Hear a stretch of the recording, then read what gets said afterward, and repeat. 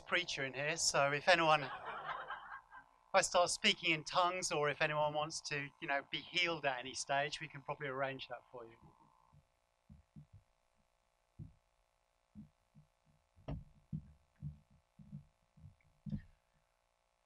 Blood defiles us. Blood makes us sacred.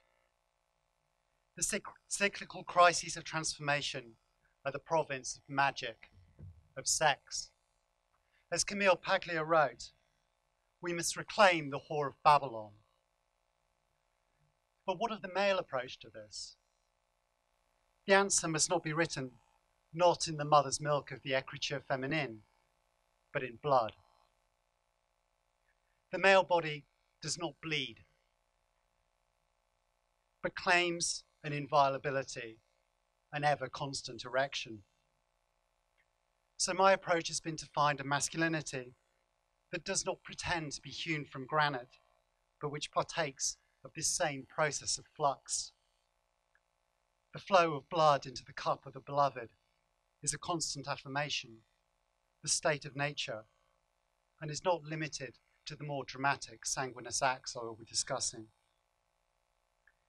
to give the full ritual formula, whose ultimate injunction is that every drop of blood returns to the grail, requires an acknowledgement of our troubled ritual history of blood, and further invites us to apply this understanding to all of our actions, whether we aspire to sainthood or tread the path to power. My concern in the first half of this essay is to address the blood rites of men constellated around modification and sacrifice, and drawn for the penumbra of the BDSM, transgressive, and queer subcultures that shared space with the occult underground, particularly in the period of the 80s. Through our experiments, magicians were very much at the forefront of the sexual revolution. And what I wish to suggest is that it was the practitioners of magic whose ritual actions have brought tattooing, piercing, and other sexualities into culture. The extent to which these forms of modification have been commodified, I will deal with in my concluding remarks. In rejecting the parlor games and the very much moribund magical scene, the body was used as a sexual ground of performed difference against a backdrop of Cold War and hard politics. A youth movement that was both proud and outlaw opposed Operation Spanner, AIDS, Section 28, vivisection, fur, and the state, inspired in particular by the examples of TOPY and the modern primitives. We all took up the knife and the needle, and as a generation of magicians, we chose to transform ourselves. This was where authenticity in magic was sought, not in nostalgia, not in tradition, and not in pedantry. It is a very important and under-acknowledged part of our magical history. And the period was characterized by tools and techniques that still very much have utility, which is why I'm introducing them again at this Trans-States conference. Though much of the text that the period produced um, very much has the worm in the page, I don't advise we all go back to writing like Genesis P-Orridge. sorry, sorry, devotees out there as a conscious agent of change, I ask myself, what is the nature of the erotic magical landscape? And how can it be worked as a site of power? Special clothing, jewelry, and jargons were not enough. Whereas the use of piercing, of penetration, opens up the body into the kind of singing wound mysticism that so influenced William Blake, or arguably Yukio Mishima. Unlike the mirror neuron reaction we get from studying uh, the Pieta or the crucifixion. Witchcraft and magic choose to intervene directly in the body. They directly inscribe it. So I ask, what does it mean to bear stigmata, to be pricked with the mark of Cain, of the devil? And why is this not at the heart of our magical practice? What shamanizing can we possibly engage in without crisis and ordeal? I like to use shamanizing in academic conferences to see who flinches.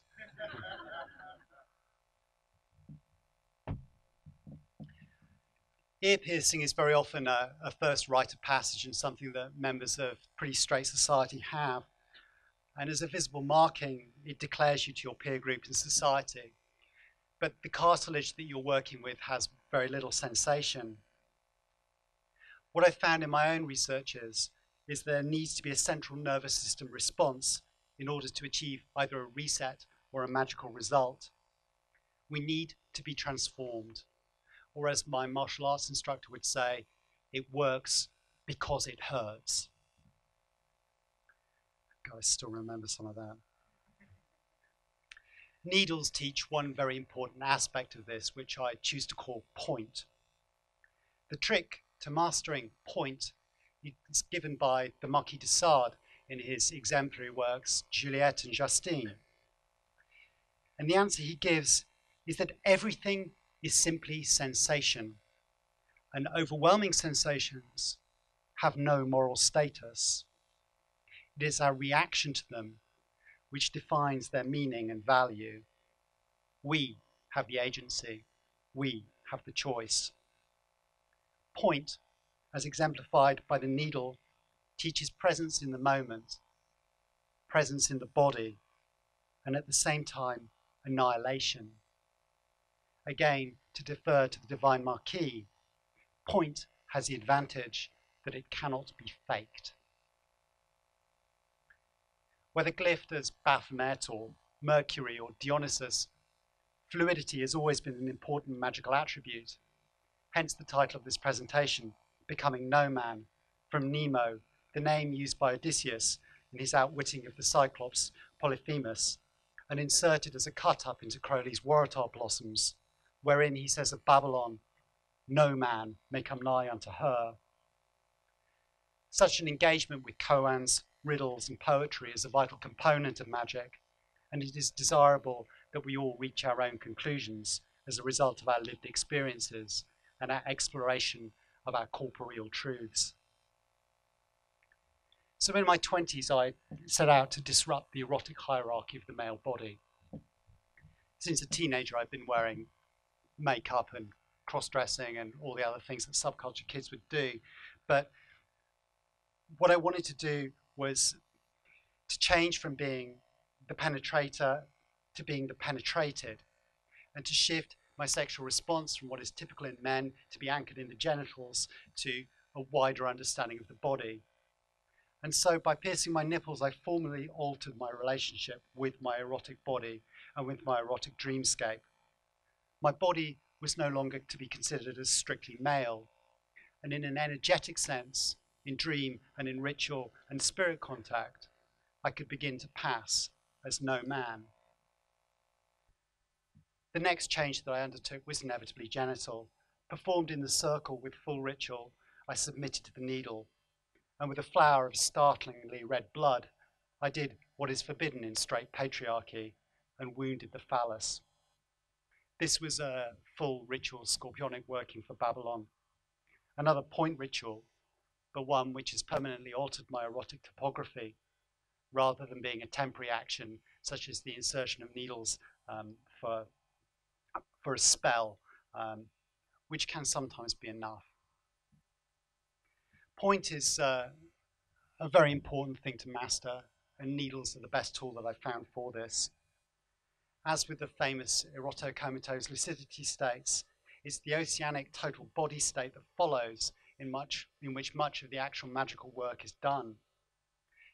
But first you have to pass through the eye of the needle, and many people cannot breach the, uh, the, the dermal taboo. So through, through the ritual, the male body is no longer seen as a closed story, but is experienced as a state of transformation and as a heterosexual man working with the mysteries of Babalon, such blood offerings are a key to the pylon of her mysteries. The body speaks, and it says, I am made of my mother's blood. I cannot contain it forever. The marrow flows out of my bones as sanguine and semen and is drunk by my lover. I die in pouring out my offerings. This is, if you will, the male formula, which is death. And it is the practice of annihilation that men need. rather than clinging to the Victorian fallacy of the will, the visualized sigil, or whatever other phylactery is used to avoid facing the loss of the self in the beloved. This is the death meditation of the lover, whose symbols are always the skull and the rose, and whose ordeal is symbolized by the black box. Point, of course, can be extended by permanent piercings or heightened through the use of larger tools. The sheer size of the insertion of hooks for pulling or suspension into flight is a radical experience that combines the shock of insertion with a powerful and prolonged myofascial release. Fakir Musafar was the pioneer in this field who inspired me and many others, um, drawing on particularly the Okipa ritual of the, uh, the Sundance ritual of the Plains Indians. Um, Fakir worked with a, a flesh pulling technique wherein two, uh, two large five millimeter hooks are placed through the chest um, and then you statically pull. In the original Okipa ritual, you pull until the piercings tear out, um, which are done traditionally with eagle claws, but in a modification context, you're not going to pull out these hooks, um, uh, although you try. The advantage of using hooks is that they teach duration and they merit repetition. And as a technique, they have great magical utility. So what's become of increasing interest to me is this combination of annihilation and duration perhaps as a result of my age, that I'm not simply catastrophic in my approaches, but it's also a male energetic requirement to work with longevity rather than just pushing the fight flight triggers. A further consideration of duration is that that's exactly what our bodies are built for, um, particularly in the running down of fleet footed prey. We're built for it. Duration asks a lot more for us ritually as well than a simple flash of bravado. And we learn also that adrenaline runs out, typically in 20 minutes. So the final piece of personal ordeal work I'll give um, concerns this. I received a full ritual scarification um, cutting to my chest. And I could tell when the adrenaline had gone because the uh, ring on my hand was knocking on the floor with an unconscious shaking response, um, which is a very interesting state to go through as the body resets from trauma. What's interesting about cutting is that rather than uh, tattooing, where you tend to go into a, a nice kind of bliss state, the scalpel continues to disrupt you. It teaches you that there is no good place to find there is no sweet spot. You have to confront the realities of the body. And it is in these confrontations, as much as getting out of the body, that much magic is found. Magic is not simply the accumulation of scars and ink, but also of the process of healing. Yet blood must be spilt.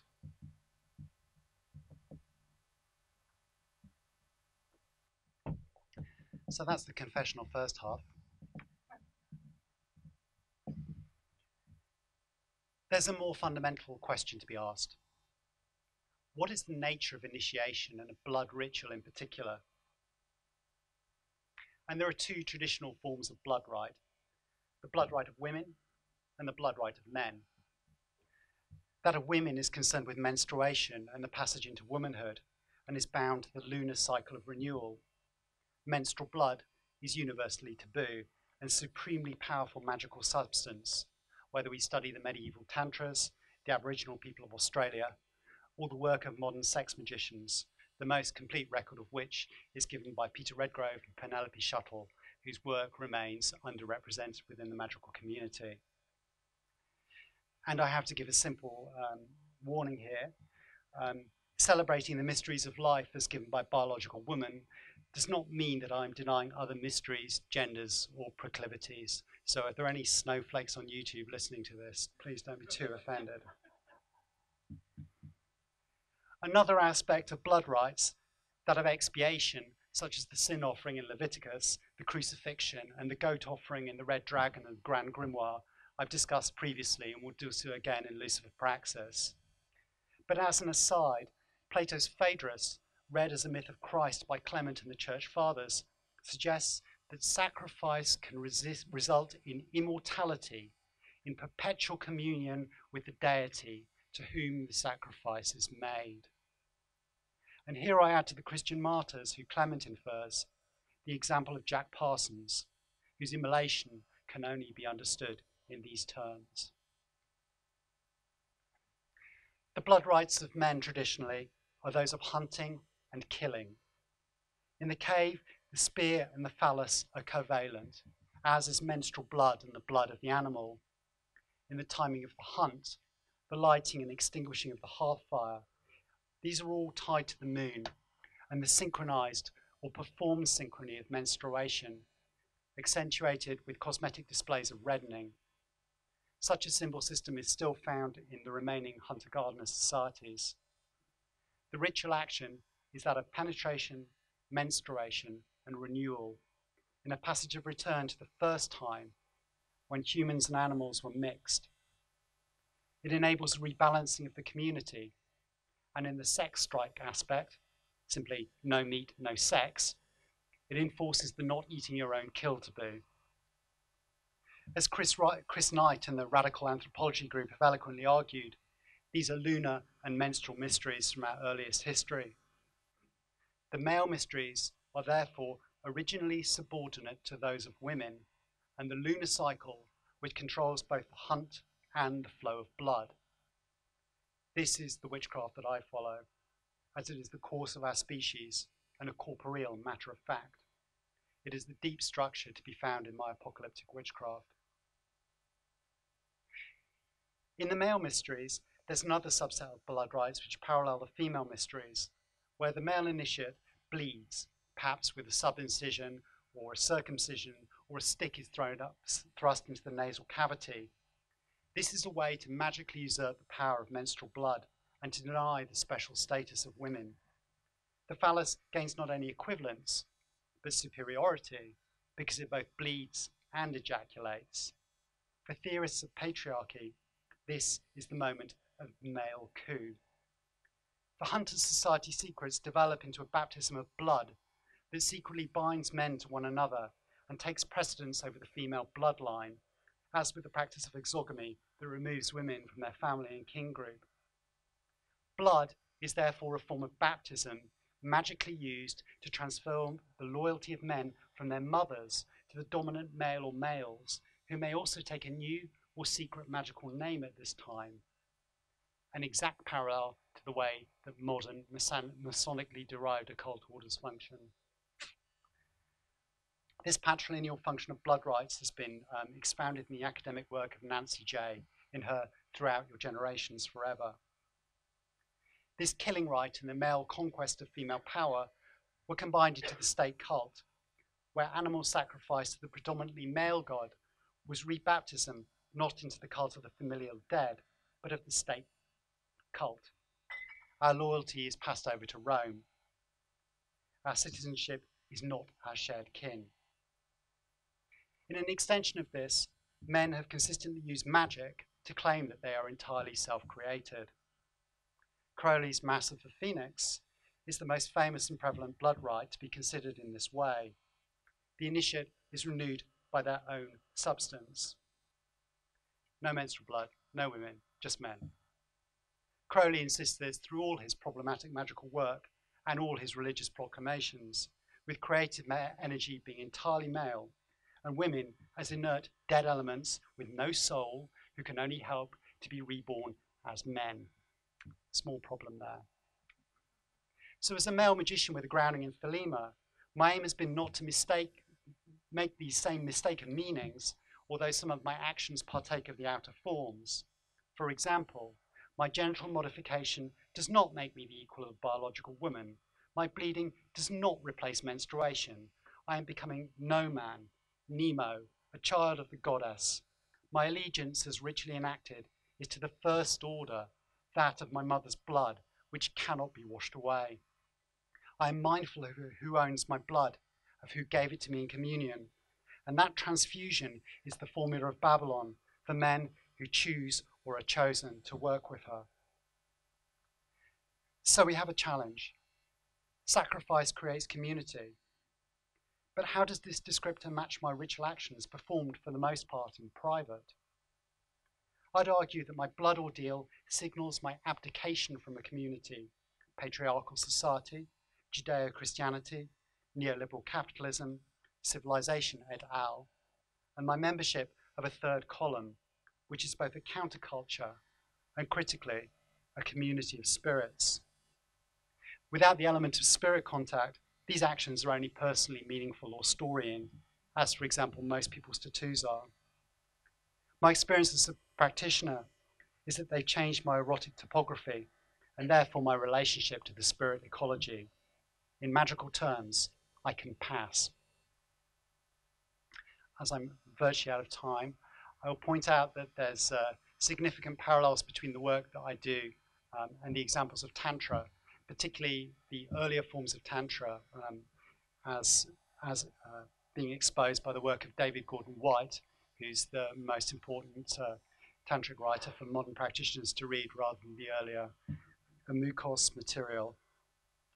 Um, and the Tantric hero, um, the Tantric hero in a particular rite that I'll just give quickly, the 10th century Kubjikamata, the practitioner draws bloody yantras, pierces their body, offers their semen, blood, skin, marrow, bone, flesh, and fat to the yoginis, who miraculously bring him back together and gift him with the supernatural power of supreme knowledge. This should be a core of Western magical practice. I'll cut there. Thank you.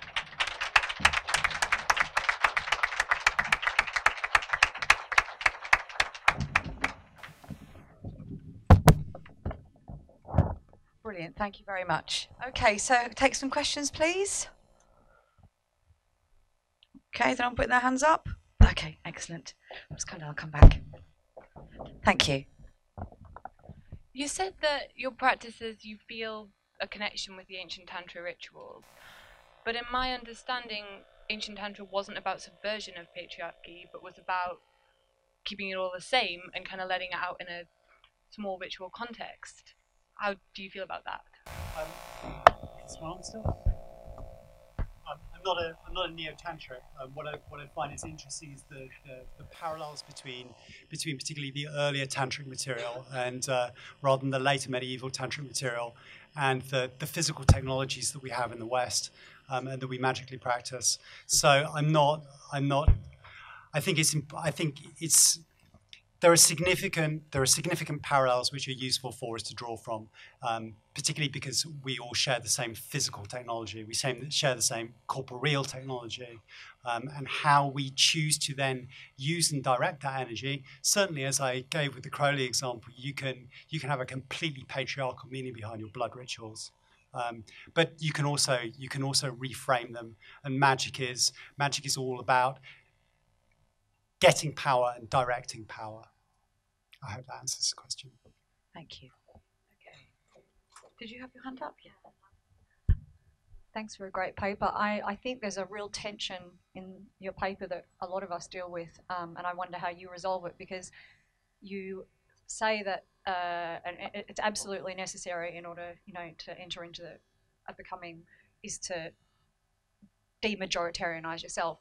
Um, but at the same time, we're still dealing with issues of femininity and masculinity, and you tried to deconstruct the fetishization of women, which I thought is crucial and really important in your paper. And yet, we're still hearing words like masculinity and heterosexual. And I just wondered, and it maybe even mirrors the tension that we have in kind of um, uh, post-human or what I call ahuman studies, where we're trying to go beyond gender and beyond sexuality, and yet sometimes we're utilizing or even potentially fetishizing indigenous practices or ancient practices, whatever. So it kind of um, relates back to the first question as well. And I mean, it's a, it's a tension. It's such a difficult tension. I think yeah. politically it's really important. So what you're doing, I think, is great. But how do you, in your work, how do you navigate that tension between the maintenance of signifying systems and categories and the actual becoming a body without organs and going beyond gender and sexuality.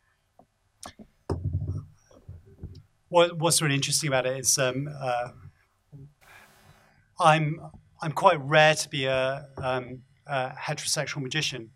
Um, uh, it's I, am actually quite a minority with my group. Um, but what what I've found is that that the queer subcultures and magical subcultures have always been together. They've, been together throughout my life. You know, I've, I've I've spent most of my most of my most of my life with a with a with a with a wide selection of sexualities in magical practice. So what I do is I try to talk about my own personal experiences. I don't believe that gender is toxic. Um, I don't believe that masculinity in itself is toxic either. Um, although I know that there are there are arguments for that, it's it's not my experience uh, and it's not my approach what I'm trying to do is I'm trying to present the technology so that people can find their own approaches to it, whether they're approaches which are saying that um, that are working towards an abolition of gender, or whether there are approaches which are saying that we don't need to abolish gender. Um, the technology is there for us to use in a, in a number of valencies, um, but I have I have no problem with with being male gendered, and I think that there are I think there are problems in many of the new approaches to gender that are being put forward that are, in fact, being quite destructive to the magical community in terms of turning individuals against one another, um, which has never been the case until this point. I hope that kind of answers your question. We can talk. We can talk about it. Okay, thank you. We've got time for one more. Does somebody? Yeah. Hello. Thank you for your talk. It was wonderful. Um, would you suggest that the point of bloodletting, you reach a state of tantric meditation, would you state that the ritual of bloodletting reaches states that you wouldn't normally reach without doing that? You reach, um, you, you certainly, you're certainly able to reach a single pointed state with, um, with, with point-based ritual, um, which is which is very useful. People very often aren't in their bodies. There's a there's a complete absence of physical culture. Well, I was going to talk about that. I'll, I'll publish my paper online um, because I go on and, and talk about the, the, the, loss of body in culture and the loss of physical practice in, in magical culture in particular. Um, yes, they're, they're analog- they are analogous to those states. They're, and they are, they're a physical technology which works with, yeah, yes, I have, yeah. God, I hope not.